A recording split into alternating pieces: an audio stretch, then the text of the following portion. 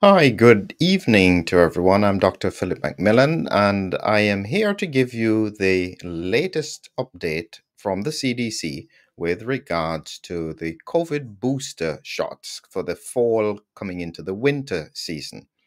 There are just a few points that I'd like to highlight. The first, as I said, is the updated recommendations, and this was from the September 12th I'll also be going back to a previous paper on underlying medical conditions and severe illness, again published from the CDC. And this is really to try and show you that we are dealing with what appears to be a different kind of COVID 19. Before I start that, I'd like to remind anyone who is interested that we have courses available at MR Education. There's a link below, multiple courses free and otherwise that we'd be very happy for you to support us with, as well as links to our upcoming conferences. So, getting back to the main point, I think we have to ask an important question. And as I said before, this is part of a standard SWOT analysis strengths, weaknesses, opportunities, threats. We are coming into a period of time where cases are rising again from the Omicron variant 2.86. And the question we have to ask is what would occur or what is the contingency plan if delivering COVID boosters fails? What I mean by fails is you have to acknowledge, and it's very important for some of the listeners, it's very important to be balanced in how you think about this. The COVID booster is still being used primarily because it does have a short to medium term impact on reducing severe COVID 19. And that's why it has been given probably about four or five times already, because it did have an impact. The question is how long and what do we do if that impact, even in the short or medium term, disappears? That's where we're heading at the moment. So let's look carefully at what the latest recommendations from the CDC are. So this was on the 12th of September 2023. And they are recommending that COVID vaccines are given for everyone six months and older and it will be available by the end of this week in most places that you would get your vaccines. They're specifically asking for older people and persons with weakened immune systems who are at greater risk, greatest risk of hospitalization and death. I'm going to come back to that in a little bit.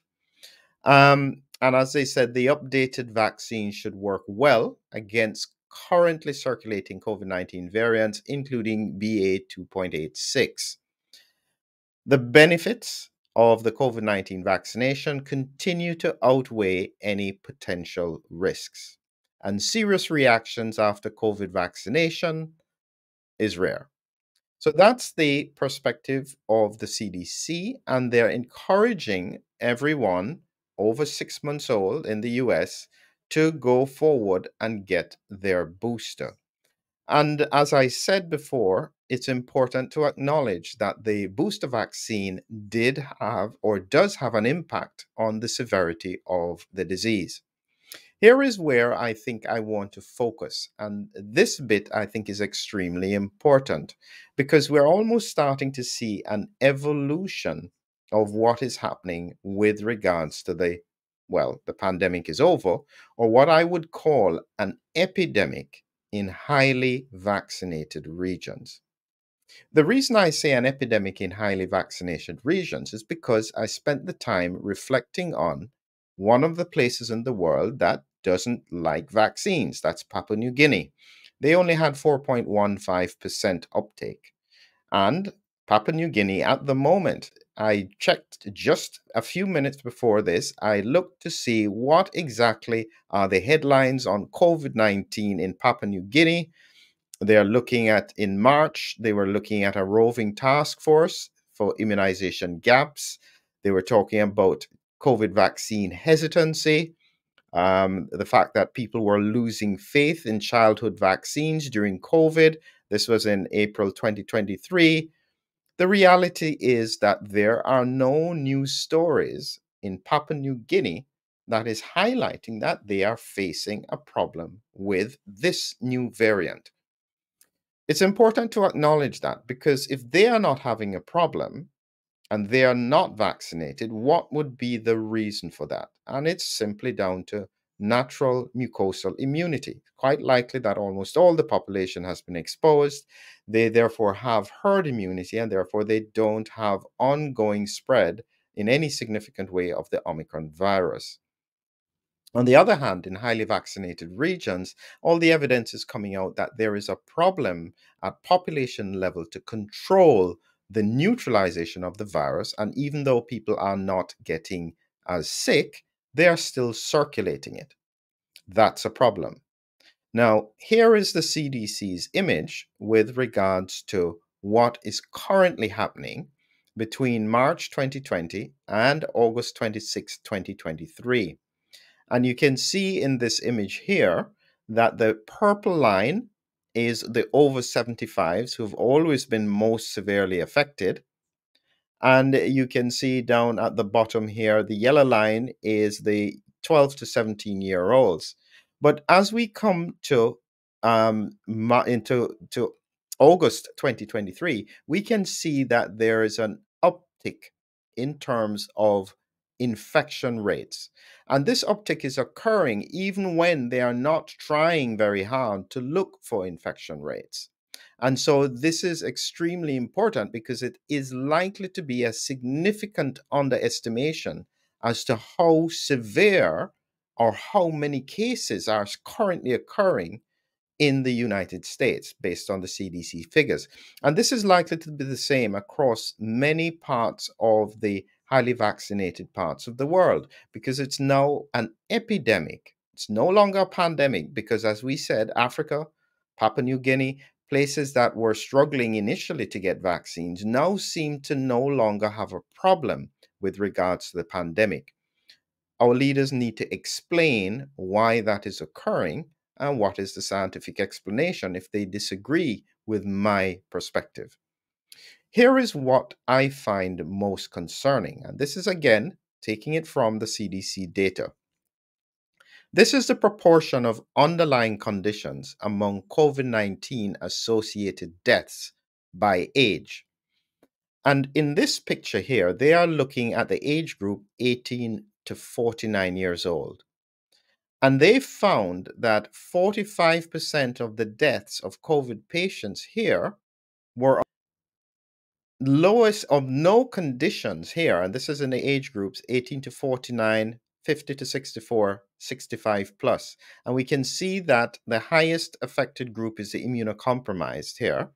No conditions. What's remarkable is that in no conditions, the highest affected is the 18 to 49 cohort.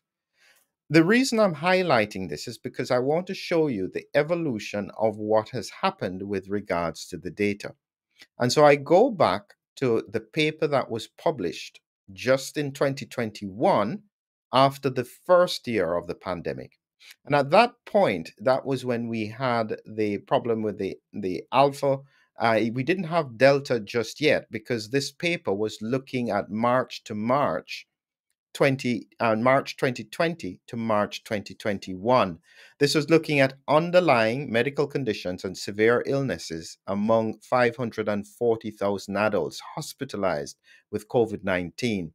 And so this data was collected directly in relation to the NIH and the CDC. So this is an important piece of information. And they were looking at 800 US hospitals in the Premier Health Care database.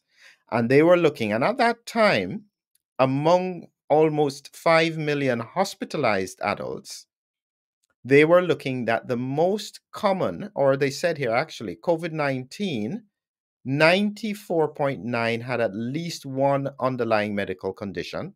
And this is why I had said originally targeted vaccination would have been the most logical thing at that time, because that's 95% of your pop- of the affected population you know has at least one condition. Essential hypertension was the highest. That's remarkable, with obesity being 33%, being most common. So, this was what was occurring in the context of prior to us bringing in the vaccination program. Now, this is the bit here that I think is really critical and why I'm concerned going into the future. When it comes to looking at what happened and the characteristics of patients who were affected, and I've got it here, I'll make this full screen. This is the characteristics of the hospitalized patients with COVID 19. And I want you to look very closely at this. This is talking about the number of conditions that they've had. Greater than one here, zero, one, two to five, six to 10, greater than 10. I've also broken it down by sex, male or female. But the one that I want you to concentrate on is number of conditions, zero. That means that the individuals affected had no medical problems. Of that, they had 9.4% of the total cohort who were admitted with COVID 19. Of that number, they had 27,000 that were relatively, uh, the full sample of hospitalized with COVID 19, that's 5.1%. And when you look at the numbers who died, it was 740 or 0.09% across all age groups. Okay, so this is not the young patients, this is across all age groups. 0.9% had no medical conditions and were affected severely with regards to COVID 19. And there's another point about this that I'll do before we go back to the issue of what is happening now is when you look at the paper again, it shows you another very interesting statistic. They broke it down by the conditions, the underlying medical conditions that were most significantly associated with severe outcomes. Again, I said hypertension right at the top lipid meta disorders of lipid uh, metabolism, and obesity. These are the top three.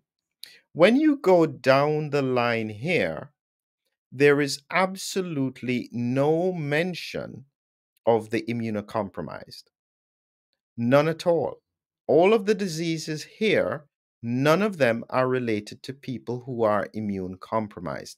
And when you think back clinically to what occurred in the pandemic, it was quite remarkable that younger people with no comorbidities who were immunocompromised and on, in, and on medication which suppressed the immune system did not seem to be at significantly higher risk of severe disease and death. And that's borne out with the statistics. Here we have a problem now because, as I said before, when you look at the CDC numbers here, the immune compromised now are at the highest risk. Why have we had a shift in the context of the type of patients who are most severely affected at this point? Even no conditions is far more significantly affected than the 0.9% that occurred in the first phase of the pandemic. I'm not allowed to necessarily say what I think would be the cause of that but our scientific leaders need to explain it. Because we're at a point now in the pandemic, as we go into the winter in the Northern Hemisphere, that if we don't have a strategy outside of what has been repeatedly done for the past three years that has delayed, kicked the can down the road, there is a very serious problem ahead of us.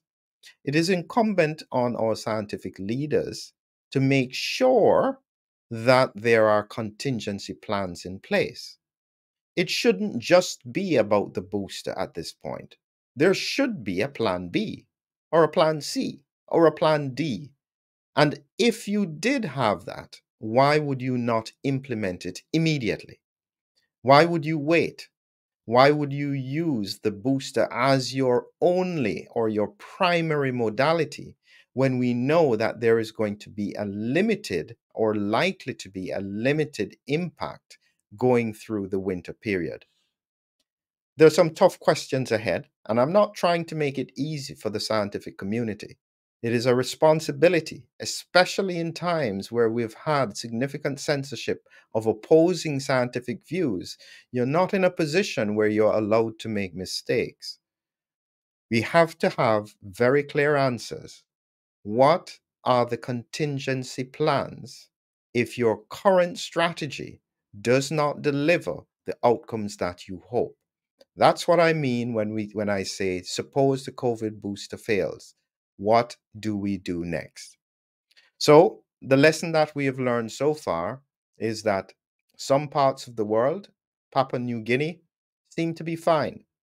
Certain parts of Africa seem to be fine.